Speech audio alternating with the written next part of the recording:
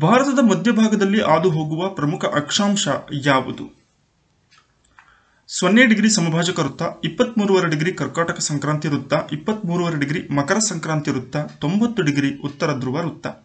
ಹಾಗಾದರೆ ಭಾರತದ ಮಧ್ಯಭಾಗದಲ್ಲಿ ಹಾದು ಹೋಗುವಂತಹ ಪ್ರಮುಖವಾದಂತಹ ಅಕ್ಷಾಂಶ ಇಪ್ಪತ್ತ್ಮೂರುವರೆ ಡಿಗ್ರಿ ಕರ್ಕಾಟಕ ಸಂಕ್ರಾಂತಿ ವೃತ್ತವಾಗಿದೆ. ಭಾರತ ಮತ್ತು ಪಾಕಿಸ್ತಾನವನ್ನು ಪ್ರತ್ಯೇಕಿಸುವಂತಹ ಗಡಿರೇಖೆ ಯಾವುದು? ದೇಶ ದೇಶಗಳ ಮಧ್ಯೆ ಇರುವಂತಹ ರೇಖೆಗಳನ್ನು ಗಡಿರೇಖೆಗಳು ಅಂತ ಕರೀತಾರೆ. ಅದರಂತೆ ಭಾರತ ಮತ್ತು ಪಾಕಿಸ್ತಾನದ ನಡುವೆ ಬರುವಂತಹ ಗಡಿರೇಖೆಯ ಹೆಸರು ಯಾವುದು? ಡ್ಯೂರ್ಯಾನ್ ರೇಖೆ ಮ್ಯಾಕ್ ಮೋಹನ್ ಡೂಮ್, ರಾಡ್ಕ್ಲಿಫ್. ಇದಕ್ಕೆ ಸರಿಯಾದ ಉತ್ತರ ಭಾರತ ಮತ್ತು ಪಾಕಿಸ್ತಾನವನ್ನು ಪ್ರತ್ಯೇಕಿಸುವಂತಹ ಗಡಿರೇಖೆ ರಾಡ್ಕ್ಲಿಫ್ ಆಗಿದೆ. ಭಾರತದಲ್ಲಿ ಚಳಿಗಾಲದ ಅವಧಿಯ ಬೆಳೆಯನ್ನು ಏನೆಂದು ಕರೆಯುವರು? ಅಂದರೆ ಅಕ್ಟೋಬರ್ ತಿಂಗಳ ನಂತರದಲ್ಲಿ ಬೆಳೆಯುವಂಥ ಬೆಳೆಯನ್ನು. ಖಾರಿಫ್, ರಬಿ, ಮುಂಗಾರು ಬೆಳೆ, ಮಾನ್ಸೂನ್ ಬೆಳೆ. ಜೂನ್ ಮತ್ತು ಜುಲೈ ತಿಂಗಳಲ್ಲಿ ಬೆಳೆಯುವಂತಹ ಬೆಳೆಯನ್ನು ಖಾರಿಫ್ ಬೆಳೆ ಅಂತ ಕರೆದರೆ ಅಕ್ಟೋಬರ್ ತಿಂಗಳ ನಂತರದಲ್ಲಿ ಬೆಳೆಯುವಂತಹ ಬೆಳೆಯನ್ನು ರಬಿ ಬೆಳೆ ಅಂತೇಳಿ ಕರೆಯುವರು. ಕ್ಯಾಬಿನೆಟ್ ಮಿಷನ್ ಆಯೋಗ ಭಾರತಕ್ಕೆ ಬಂದ ವರ್ಷ ಯಾವುದು? 1942, 1945, 1946, 1947 ಭಾರತಕ್ಕೆ ಸ್ವಾತಂತ್ರ್ಯವನ್ನು ಹಸ್ತಾಂತರಿಸುವಂತಹ ರಚನೆಗೆ ಸಂಬಂಧಪಟ್ಟ ಹಾಗೆ ಅತ್ಯಂತ ಪ್ರಮುಖ ಪಾತ್ರವನ್ನು ವಹಿಸಿದ್ದು ಕ್ಯಾಬಿನೆಟ್ ಮಿಷನ್. ಇದು ಭಾರತಕ್ಕೆ ಆಗಮಿಸಿದ್ದು ಸಾವಿರದ ಒಂಬೈನೂರ ನಲವತ್ತಾರರಲ್ಲಿ. ಮಾಪಿಳ್ಳೆ ದಂಗೆ ಯಾವುದಕ್ಕೆ ಸಂಬಂಧಪಟ್ಟಿದೆ? ಗಿರಿಜನರ ಅತೃಪ್ತಿ ರಾಷ್ಟ್ರವಾದಿಗಳ ಅತೃಪ್ತ ಸೈನಿಕರ ಅತೃಪ್ತಿ ರೈತರ ಅತೃಪ್ತಿ.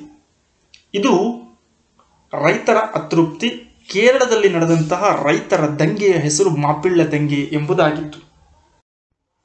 ಭಾರತೀಯ ರಾಷ್ಟ್ರೀಯ ಕಾಂಗ್ರೆಸ್ ಪ್ರಥಮ ಅಧಿವೇಶನ ಎಲ್ಲಿ ಜರುಗಿತು? ಮುಂಬೈ, ಕೋಲ್ಕತ್ತಾ, ಕಾನ್ಪುರ್, ಬೆಳಗಾವಿ. ಸಾವಿರದ ಎಂಟುನೂರ ಎಂಬತ್ತೈದರಲ್ಲಿ ರಾಷ್ಟ್ರೀಯ ಕಾಂಗ್ರೆಸ್ ಸ್ಥಾಪನೆಯಾಗುತ್ತೆ, ಎ ಒ ಯೂಮ್ರವರಿಂದ. ಇದರ ಮೊದಲ ವಾರ್ಷಿಕ ಅಧಿವೇಶನ ಏನಿದೆ? ಅದು ಪ್ರಥಮ ಅಧಿವೇಶನ ನಡೆದಿದ್ದು ಮುಂಬೈನಲ್ಲಿ. ಉಮೇಶ್ ಚಂದ್ರ ಬ್ಯಾನರ್ಜಿ ಅಧ್ಯಕ್ಷತೆಯನ್ನ ವಹಿಸಿದ್ದರು. ಯಾವ ಕಾಂಗ್ರೆಸ್ ಅಧಿವೇಶನದಲ್ಲಿ ಗಾಂಧಿ ಇರ್ವಿನ್ ಒಪ್ಪಂದ ಅಂಗೀಕರಿಸಲ್ಪಟ್ಟಿತು? ಕರಾಚಿ ಅಧಿವೇಶನ, ಕಲ್ಕತ್ತಾ ಅಧಿವೇಶನ, ತ್ರಿಪುರ ಅಧಿವೇಶನ, ಲಾಹೋರ್ ಅಧಿವೇಶನ. ಗಾಂಧಿ ಇರ್ವಿನ್ ಒಪ್ಪಂದ ಅಂಗೀಕರಿಸಲ್ಪಟ್ಟಿದ್ದು ಕಲ್ಕತ್ತಾ ಅಧಿವೇಶನದಲ್ಲಿ. ಬುದ್ಧನ ಆಕೃತಿ ಹೊಂದಿದ್ದ ನಾಣ್ಯಗಳನ್ನು ಈ ಕೆಳಗಿನ ಯಾವ ಅರಸ ಜಾರಿಗೆ ತಂದಿದ್ದನು? ಹರ್ಷ, ಚಂದ್ರಗುಪ್ತ ಕನಿಷ್ಕ, ಅಶೋಕ ಇವರಲ್ಲಿ ಬುದ್ಧನ ಆಕೃತಿಯನ್ನು ಹೊಂದಿದ್ದಂತಹ ನಾಣ್ಯಗಳನ್ನು ಜಾರಿಗೆ ತಂದವನು ಕುಶಾಣರ ಅರಸನಾಗಿದ್ದಂತಹ ಕನಿಷ್ಕ, ಕಾರಣ ಈತ ಬೌದ್ಧ ಅನುಯಾಯಿ ಆಗಿದ್ದನು. ವಿ. ಎಸ್. ಸ್ಮಿತ್ ಎಂಬ ಇತಿಹಾಸಕಾರ ಯಾವ ಅರಸನನ್ನು ಭಾರತದ ನೆಪೋಲಿಯನ್ ಎಂದು ಕರೆದಿದ್ದಾರೆ? ಸ್ಕಂದಗುಪ್ತ, ಸಮುದ್ರಗುಪ್ತ, ಚಂದ್ರಗುಪ್ತ ಒಂದು ಕುಮಾರಗುಪ್ತ. ಇದರಲ್ಲಿ ವಿ. ಎಸ್. ಸ್ಮಿತ್ ಎಂಬ ಇತಿಹಾಸಕಾರ ಸಮುದ್ರಗುಪ್ತನನ್ನ ಭಾರತದ ನೆಪೋಲಿಯನ್ ಎಂದು ಹೊಗಳಿದ್ದಾರೆ. ಭಾರತ ಸ್ವಾತಂತ್ರ್ಯ ನಂತರ ಸರೋಜಿನಿ ನಾಯ್ಡುರವರು ಯಾವ ರಾಜ್ಯದ ಮೊಟ್ಟ ಮೊದಲ ಮಹಿಳಾ ರಾಜ್ಯಪಾಲೆಯಾದರು? ಮಧ್ಯಪ್ರದೇಶ್, ಆಂಧ್ರಪ್ರದೇಶ್, ಬಿಹಾರ ಮತ್ತು ಉತ್ತರ ಪ್ರದೇಶ. ಇದರಲ್ಲಿ ಸರೋಜಿನಿ ನಾಯ್ಡುವರು ರಾಜ್ಯಪಾಲರಾಗಿ ಆಯ್ಕೆಯಾಗಿದ್ದು ಉತ್ತರ ಪ್ರದೇಶದ ರಾಜ್ಯಪಾಲೆ ಆಗಿದ್ದರು. ಅಲೆಕ್ಸಾಂಡರ್ನು ಭಾರತದ ಮೇಲೆ ದಂಡಯಾತ್ರೆ ಕೈಗೊಂಡಂತಹ ವರ್ಷ ಯಾವುದು? ಮ್ಯಾಸಿಡೋನಿಯಾದ ದೊರೆಯಾದಂಥ ಅಲೆಕ್ಸಾಂಡರ್ ಇಡೀ ಜಗತ್ತನ್ನು ಗೆಲ್ಲಬೇಕನ್ನುವಂತಹ ಹೆಬ್ಬಯಕೆಯಿಂದ ದಂಡಯಾತ್ರೆಗಳನ್ನು ಮಾಡಿಕೊಂಡು ಬಂದ ನಂತರ ಭಾರತದ ಮೇಲೆ ಈತ ದಂಡಯಾತ್ರೆಯನ್ನು ಕೈಗೊಂಡಂತಹ ವರ್ಷಗಳು ಕ್ರಿಸ್ತಪೂರ್ವ ಮುನ್ನೂರ ಇಪ್ಪತ್ತೇಳರಿಂದ ಮುನ್ನೂರ ಇಪ್ಪತ್ತಾರು. ಸೊ ಈ ಒಂದು ಕಾಲಾವಧಿಯಲ್ಲಿ ಅಲೆಕ್ಸಾಂಡರ್ನು ಭಾರತದ ಮೇಲೆ ದಂಡಯಾತ್ರೆಯನ್ನು ಕೈಗೊಳ್ತಾನೆ. ಕ್ರಿಸ್ತಶಕ ಆರುನೂರ ಇಪ್ಪತ್ತೊಂಬತ್ತರಲ್ಲಿ ಹರ್ಷವರ್ಧನನ ಆಸ್ಥಾನಕ್ಕೆ ಭೇಟಿ ನೀಡಿದ ಚೀನಾ ಯಾತ್ರಿಕ ಯಾರು? ಯುನೆತ್ಸಾಂಗ್ ಸರಿಯಾದ ಉತ್ತರ. ವರ್ಧನ ವಂಶದ ಪ್ರಸಿದ್ಧ ಅರಸನಾದಂತಹ ಹರ್ಷವರ್ಧನ ಹಾಗೆಯೇ ಕರ್ನಾಟಕವನ್ನು, ದಕ್ಷಿಣ ಭಾರತವನ್ನು ವಿಶೇಷವಾಗಿ ಆಳ್ತಾ ಇದ್ದಂತಹ ಇಮ್ಮಡಿ ಪುಲಕೇಶಿಯ ಕಾಲಾವಧಿಯಲ್ಲಿ ಭಾರತಕ್ಕೆ ಭೇಟಿಯನ್ನು ನೀಡಿದಂಥವನು ಯುವನೆತ್ಸಾಂಗ್ ಈತನ ಬರವಣಿಗೆಗಳಿಂದ ಆಗಿನ ಕಾಲಘಟ್ಟದ ರಾಜಕೀಯ, ಆರ್ಥಿಕ ಮತ್ತು ಸಾಮಾಜಿಕ ಸ್ಥಿತಿಗತಿಗಳ ಬಗ್ಗೆ ನಮಗೆ ಮಾಹಿತಿ ತಿಳಿಯುತ್ತದೆ. ಇಸ್ಲಾಂ ಧರ್ಮದಲ್ಲಿ ಹಿಜಿರಾ ಶಕೆ ಆರಂಭವಾದ ವರ್ಷ ಯಾವುದು? ಯಾವುದನ್ನ ಹಿಜಿರಾ ಶಕೆ ಅಂತ ಕರೀತಾರೆ. ಕ್ರಿಸ್ತಶಕ ಆರುನೂರ ಇಪ್ಪತ್ತೆರಡು ಸೊ ಈ ಒಂದು ವರ್ಷವನ್ನು ಇಸ್ಲಾಂ ಧರ್ಮದಲ್ಲಿ ಹಿಜಿರಾ ಶಕೆ ಅಂತ ಕರೀತಾರೆ. ಇದಕ್ಕೆ ಕಾರಣ, ಇಸ್ಲಾಂ ಧರ್ಮದ ಸ್ಥಾಪಕರಾದಂತಹ ಪ್ರವಾದಿ ಮೊಹಮ್ಮದರು ಮೆಕ್ಕಾದಿಂದ ಮದೀನಾಕ್ಕೆ ತಮ್ಮ ಸ್ಥಳವನ್ನು ಬದಲಾವಣೆ ಮಾಡ್ತಾರೆ ಅಥವಾ ಪಲಾಯನವನ್ನು ಮಾಡ್ತಾರೆ. ಈ ಒಂದು ವರ್ಷದಲ್ಲಿ ಈ ಕಾರಣಕ್ಕೆ ಈ ಒಂದು ಘಟನೆಯನ್ನ ಹಿಜರಾಶಕೆ ಎಂದು ಇಸ್ಲಾಂ ಧರ್ಮದಲ್ಲಿ ಗುರುತಿಸಲಾಗಿದೆ. ವಿಜಯನಗರ ಸಾಮ್ರಾಜ್ಯ ಆರಂಭವಾದ ವರ್ಷ ಯಾವುದು? ದಕ್ಷಿಣ ಭಾರತದ ಅತ್ಯಂತ ವೈಭವೋತ ಸಾಮ್ರಾಜ್ಯ ವಿಜಯನಗರವಾಗಿತ್ತು. ಇದು ಆರಂಭವಾದಂತಹ ವರ್ಷ. ಕ್ರಿಸ್ತಶಕ ಸಾವಿರದ ಮುನ್ನೂರ ಮೂವತ್ತಾರು ಅಕ್ಕ ಬುಕ್ಕ ಎಂಬ ಸಹೋದರರಿಂದ ಇದು ಆರಂಭವಾಗುತ್ತೆ. ವಿದ್ಯಾರಣ್ಯರು ಇವರಿಗೆ ಗುರುಗಳಾಗಿ ಪ್ರೇರಣೆಯನ್ನ ನೀಡಿದ್ದರು. ಸಾವಿರದ ಏಳ್ನೂರ ಐವತ್ತೇಳರಲ್ಲಿ ಜರುಗಿದ ಭಾರತ ಇತಿಹಾಸದ ಪ್ರಮುಖ ಘಟನೆ ಯಾವುದು? ಸಾವಿರದ ಏಳ್ನೂರ ಐವತ್ತೇಳು ಅಂದ ತಕ್ಷಣ ಪ್ಲಾಸಿ ಕದನ. ಸಿರಾಜುದ್ದೌಲಾ ಬಂಗಾಳದ ನವಾಬನಾದಂಥ ಉದ್ದವಲ ಮತ್ತು ಬ್ರಿಟಿಷರ ನಡುವೆ ಈ ಒಂದು ಕದನ ನಡೆಯುತ್ತೆ. ಈ ಮೂಲಕವಾಗಿ ಸಿರಾಜುದ್ದೌಲ ಸೋಲನ್ನು ಅನುಭವಿಸುವ ಮೂಲಕ ಬಂಗಾಳ ಪ್ರಾಂತ್ಯದ ಮೇಲೆ ಬ್ರಿಟಿಷರ ಹಿಡಿತ ಆರಂಭವಾದಂತಹ ಪ್ರಮುಖವಾದ ಇತಿಹಾಸದ ಘಟನೆಯಾಗಿದೆ. ಹೈದರಾಲಿ ಮತ್ತು ಬ್ರಿಟಿಷರ ಮಧ್ಯೆ ಜರುಗಿದ ಮೊದಲ ಆಂಗ್ಲೋ ಮೈಸೂರು ಯುದ್ಧ ನಡೆದಂತ ವರ್ಷ ಯಾವುದು? ಸಾವಿರದ ಏಳುನೂರ ಅರವತ್ತೇಳರಿಂದ ಸಾವಿರದ ಏಳುನೂರ ಅರವತ್ತೊಂಬತ್ತರ ನಡುವೆ ಹೈದರಾಲಿ ಮತ್ತು ಬ್ರಿಟಿಷರ ಮಧ್ಯೆ ಮೊದಲನೇ ಆಂಗ್ಲೋ ಮೈಸೂರು ಯುದ್ಧ ನಡೆಯುತ್ತೆ. ಈ ಒಂದು ಯುದ್ಧದಲ್ಲಿ ಹೈದರಾಲಿಯು ಬ್ರಿಟಿಷರನ್ನ ಸಂಪೂರ್ಣವಾಗಿ ಸೋಲಿಸ್ತಾನೆ. ಒಟ್ಟಾರೆಯಾಗಿ ಮೈಸೂರು ಸುಲ್ತಾನರಿಗೂ ಮತ್ತು ಬ್ರಿಟಿಷರ ನಡುವೆ ನಾಲ್ಕು ಆಂಗ್ಲೋ ಮೈಸೂರು ಯುದ್ಧಗಳು ನಡೀತವೆ. ಅದರಲ್ಲಿ ಪ್ರಮುಖವಾಗಿ ಎರಡು ಹೈದರಾಲಿ ಮತ್ತು ಬ್ರಿಟಿಷ್ ಇನ್ನುಳಿದಂಥ ಎರಡು ಟಿಪ್ಪು ಸುಲ್ತಾನ್ ಮತ್ತು ಬ್ರಿಟಿಷರ ನಡುವೆ ನಡೆದವು. ಈ ಕೆಳಗಿನ ಯಾವುದು ದಕ್ಷಿಣ ಆಫ್ರಿಕಾದಲ್ಲಿ ಗಾಂಧೀಜಿಯವರಿಂದ ರಚನೆಯಾಗಲಿಲ್ಲ?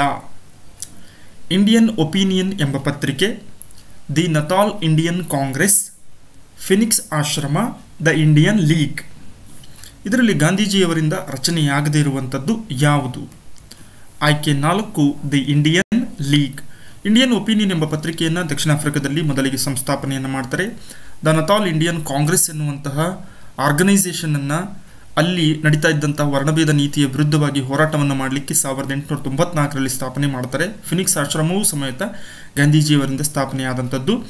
ದಿ ಇಂಡಿಯನ್ ಲೀಗ್ ಅನ್ನುವಂಥದ್ದು ಗಾಂಧೀಜಿಯವರಿಂದ ರಚನೆ ಆಗಲಿಲ್ಲ. ಈ ಕೆಳಗಿನ ಹೇಳಿಕೆಗಳಲ್ಲಿ ಸರಿಯಾದುದನ್ನು ಗುರುತಿಸಿ. ಚಂಪಾರಣ್ಯ ಸತ್ಯಾಗ್ರಹ ಗಾಂಧೀಜಿಯವರ ಎರಡನೇ ಸತ್ಯಾಗ್ರಹವಾಗಿದೆ. ಒಂದನೇದು. ಎರಡನೇ ಹೇಳಿಕೆ, ಇಂಡಿಗೋ ಪ್ಲಾಂಟೇಶನ್ ಕಾರ್ಮಿಕರ ಹಕ್ಕುಗಳ ಪರವಾಗಿ ಸತ್ಯ, ಚಂಪಾರಣ್ಯ ಸತ್ಯಾಗ್ರಹವನ್ನು ಕೈಗೊಂಡರು. ಈ ಎರಡು ಹೇಳಿಕೆಗಳಲ್ಲಿ ಹೇಳಿಕೆ ಒಂದು ಮಾತ್ರ ಸರಿ, ಹೇಳಿಕೆ ಎರಡು ಮಾತ್ರ ಸರಿ. ಸರಿಯಾದಂತಹ ಉತ್ತರವನ್ನು ನೋಡೋದಾದರೆ, ಹೇಳಿಕೆ ಎರಡು ಮಾತ್ರ ಸರಿ. ಚಂಪಾರಣ ಸತ್ಯಾಗ್ರಹ ಗಾಂಧೀಜಿಯವರ ಮೊದಲನೇ ಸತ್ಯಾಗ್ರಹವಾಗಿದೆ. ಹಾಗಾಗಿ ಮೊದಲನೇ ಹೇಳಿಕೆ ತಪ್ಪಾಗುತ್ತೆ.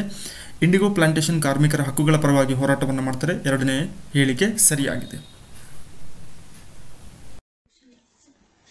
ಬಜೆಟ್ ಅಧಿವೇಶನ ಆರಂಭಕ್ಕೂ ಮುನ್ನ ಸದನವನ್ನು ಉದ್ದೇಶಿಸಿ ಈ ಕೆಳಗಿನ ಯಾರು ಭಾಷಣ ಮಾಡುವರು? ಪ್ರಧಾನಮಂತ್ರಿ, ಲೋಕಸಭಾ ಸ್ಪೀಕರ್, ರಾಷ್ಟ್ರಪತಿ ಮತ್ತು ಉಪರಾಷ್ಟ್ರಪತಿ. ಸರಿಯಾದಂತಹ ಉತ್ತರ ರಾಷ್ಟ್ರಪತಿಗಳು. ವರ್ಷದಲ್ಲಿ ಮೂರು ಬಾರಿ ಅಧಿವೇಶನಗಳು ನಡೀತವೆ. ಒಂದು ಬಜೆಟ್ ಅಧಿವೇಶನ, ಇನ್ನೊಂದು ಮಳೆಗಾಲದ ಅಧಿವೇಶನ, ಮತ್ತೊಂದು ಚಳಿಗಾಲದ ಅಧಿವೇಶನ. ಸೊ ಇದರಲ್ಲಿ ಪ್ರಾರಂಭದಲ್ಲಿ ನಡೆಯುವಂಥದ್ದು ಬಜೆಟ್ ಅಧಿವೇಶನ. ಈ ಬಜೆಟ್ ಅಧಿವೇಶನ ಆರಂಭವಾಗುವುದಕ್ಕಿಂತ ಮುಂಚೆ ರಾಷ್ಟ್ರಪತಿಗಳು ಉಭಯ ಸದನಗಳನ್ನು ಉದ್ದೇಶಿಸಿ ಭಾಷಣವನ್ನು ಮಾಡುತ್ತಾರೆ.